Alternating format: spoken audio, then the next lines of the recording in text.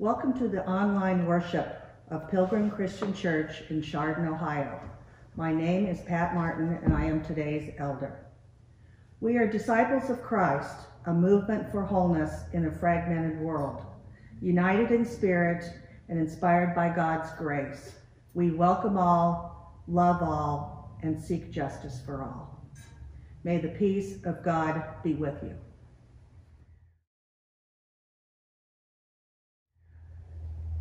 Let us pray. O gracious Creator, God of mystery and power, we gather this morning as your children, born of water and spirit. Through word and prayer, singing and fellowship, open our eyes to the fire of your love and the cleansing waters of your justice, that your blessing of peace may rest upon us through Jesus Christ our Lord, who taught us to pray. Our, our Father, who art in heaven, hallowed be thy name. Thy kingdom come, thy will be done, on earth as it is in heaven. Give us this day our daily bread, and forgive us our debts, as we forgive our debtors. And lead us not into temptation, but deliver us from evil. For thine is the kingdom, and the power, and the glory forever. Amen.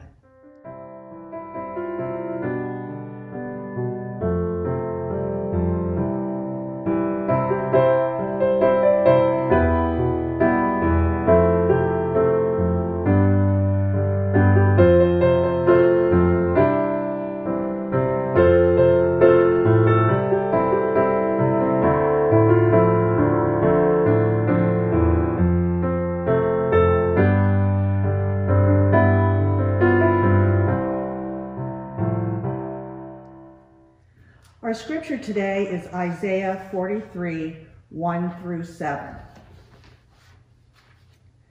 Thus says the Lord, He who created you, O Jacob, He who formed you, O Israel, do not fear, for I have redeemed you. I have called you by name, you are mine. When you pass through the waters, I will be with you, and through the rivers they shall not overwhelm you. When you walk through fire, you shall not be burned, and the flame shall not consume you. For I am the Lord your God, the Holy One of Israel, your Savior. I give Egypt as your ransom, Ethiopia and Seba in exchange for you, because you are precious in my sight and honored, and I love you. I give people in return for you, nations in exchange for your life. Do not fear, for I am with you.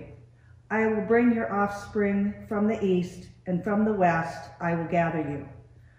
I will say to the north, give them up, and to the south, do not withhold. Bring my sons from far away, and my daughters from the ends of the earth.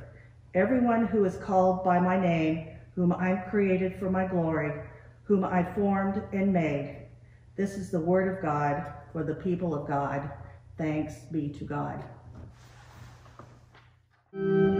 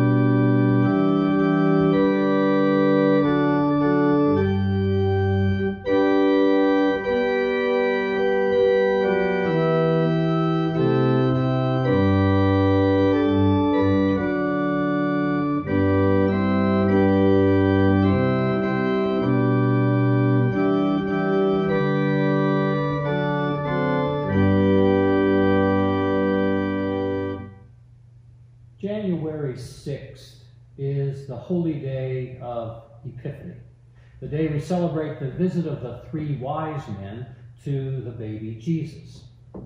And it's traditional that on the first Sunday after Epiphany, we commemorate the baptism of Jesus. And that's why I included the text on your screens as Anne played the song on Jordan's Bank as a prelude, the text of the story of Jesus' baptism as it's found in Luke. The scripture passage that Pat just read to you a little bit ago is the one appointed as our reading from the Hebrew scriptures for this morning. And I chose it because I almost never use it as a sermon text. And even though I never use it, it's actually quite strong and it's quite beautiful and powerful. But it also has a strong message for us at this particular point in our history. So let's start looking at the beginning of this passage where, where Israel is spoken to as both Jacob and Israel. Remember, in the Bible, Israel and Jacob are the same person. Jacob's name was changed to Israel after he wrestled with God. And so Isaiah tells Israel, This is what the Lord says to you, the one who created you, O Jacob, the one who formed you, O Israel. Now, these two Hebrew verbs, the ones meaning create and form, are, are probably important because they're the two verbs used in the first two chapters of Genesis to talk about the creation of the universe and the creation of human beings. Now, Isaiah might have meant these two phrases the one who created you, O Jacob, and the one who formed you, O Israel, to mean the same thing. But since Jacob himself underwent transformation and was given a new identity, it's probably important that we see these two things, creating and forming, as distinct in this text. And maybe this is even more important when we realize that Jacob was first created as a people, and then Israel was formed into God's people in the Exodus. We see this pretty clearly as Isaiah moves into a retelling of this event in Israel's salvation history. But he doesn't really talk about it as something in the past that people can dwell on as a reminiscence.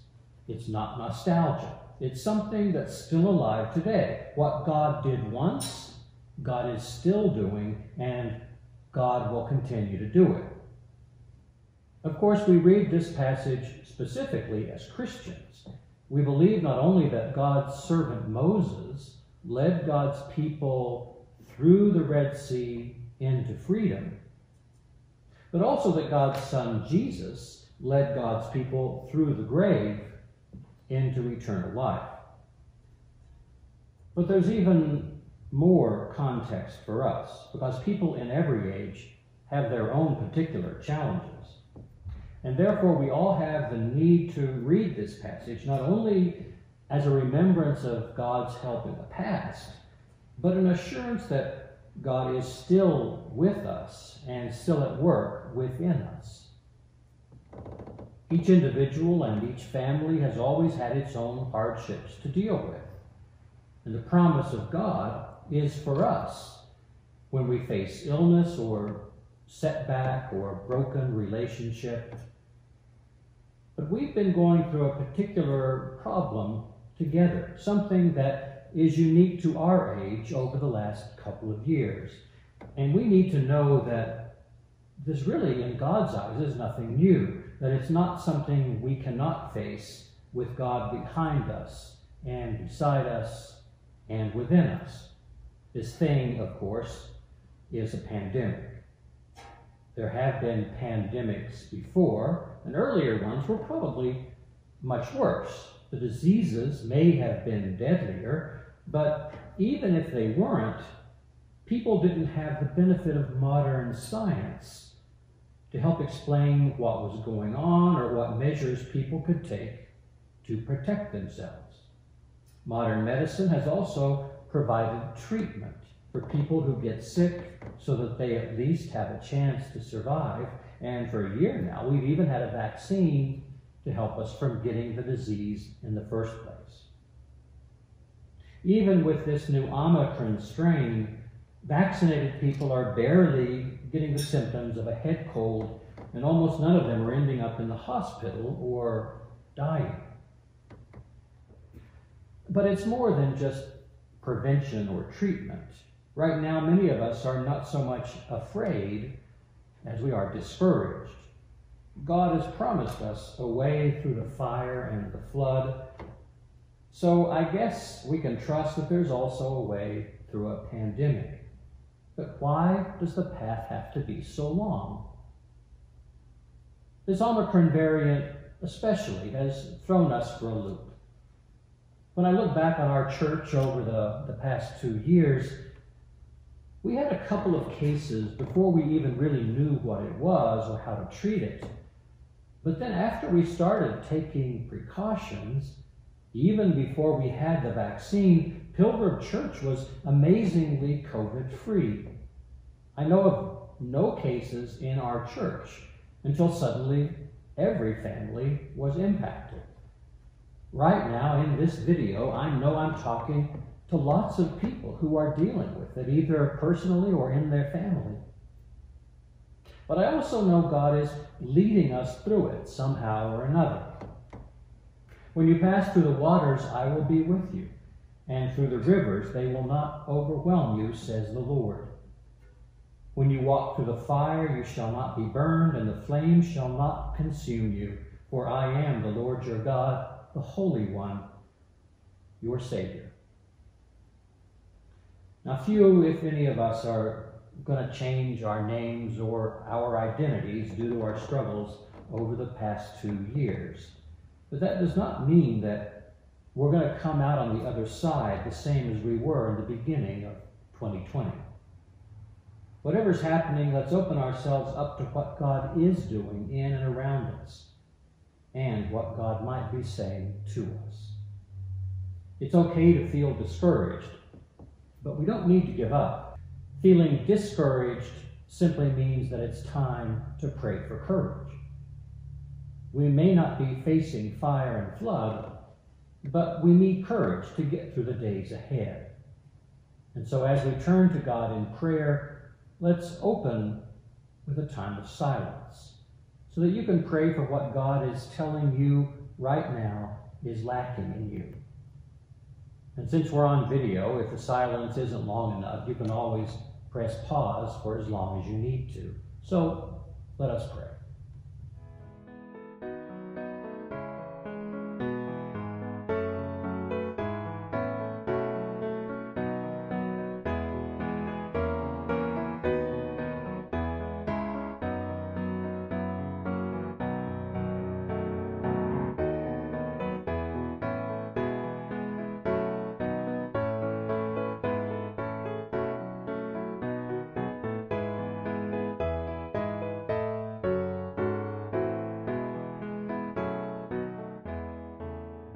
Come before you in thanksgiving, O God, for you created the universe and the world in which we live.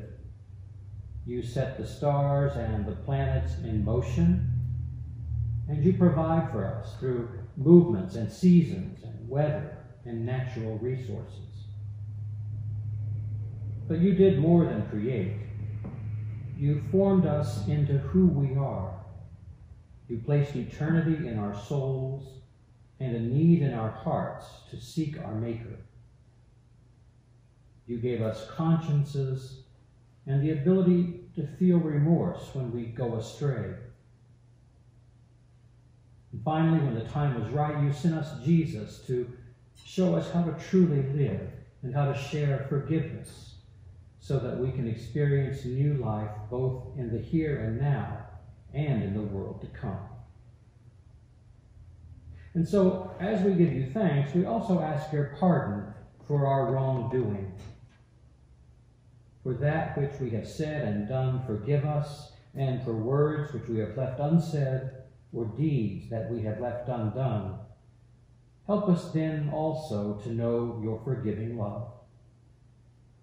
Empower us to live with integrity in your sight and to serve our neighbors, for we know that we are our brothers and our sisters' keepers.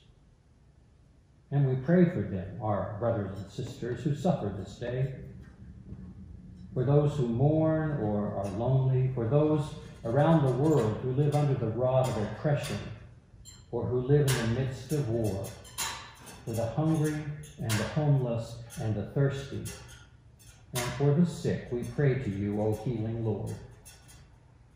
We pray especially for people from our own church who are even now dealing with COVID.